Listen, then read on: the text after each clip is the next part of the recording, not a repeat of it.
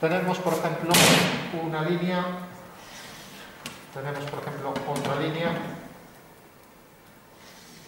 y tenemos un punto.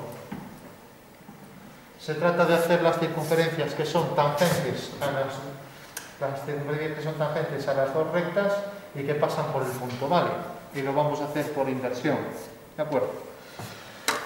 Bueno, pues como siempre, hacemos los dos pasos,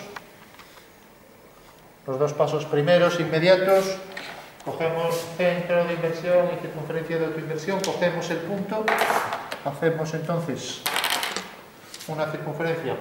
Si hago aquí una perpendicular, voy a coger esta que es más rápida y corta aquí. Bueno, voy a coger ese radio mismo, ¿vale?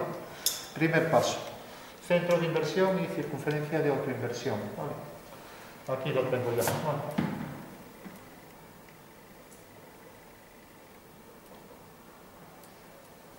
Entonces hago esta circunferencia y es mi circunferencia de autoinversión. Entonces tengo ya centro y auto. Ahora hago las inversas de los datos. Vale. Bueno.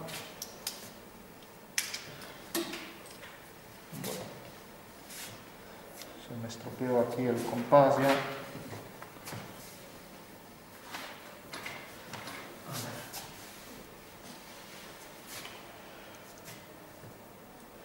Bueno, las inversas de los datos, como sabéis, sabéis hacer la inversa de un punto, de una recta y una circunferencia. Bueno, pues para hacer las inversas hacíamos entonces. En el caso este, tenemos que es tangente, este es un punto inverso de sí mismo, y luego, como es una recta, pues es una circunferencia que pasa por el centro. O sea que tendré que hacer esta circunferencia, ¿vale? Voy a hacerla con compás mejor. Pues cojo aquí el punto medio y ya trazo esa circunferencia. Aunque es tan pequeño que me corta ahí, me intercepta ahí. Bueno, voy a hacer a mano que ahí no me, no me da el arco. Entonces hago la inversa de esa recta y es esta circunferencia.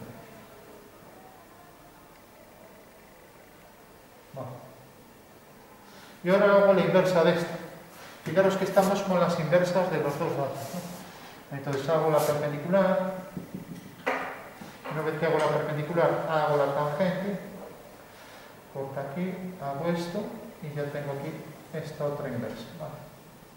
O sea que la inversa de la recta A es la circunferencia A' y la inversa de B es B'. Bueno, segundo paso hecho, inversas de los datos. Tercer paso, tangentes a las inversas.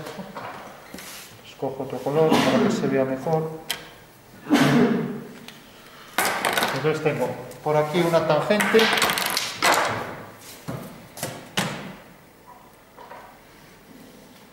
Y por aquí la otra tangente. Bueno, tercer paso hecho y último paso, inversas de las tangentes. Bueno, pues la inversa de esta recta como pasa por aquí, pasa por aquí.